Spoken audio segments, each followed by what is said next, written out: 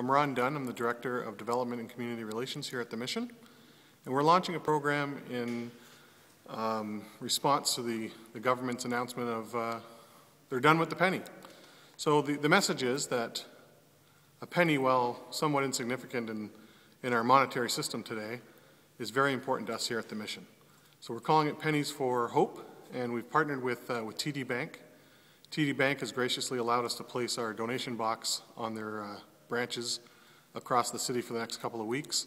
And we're going to keep going after that with new partners. We're going to announce uh, when TD's done who's next. But we're hoping to get as many pennies in as possible.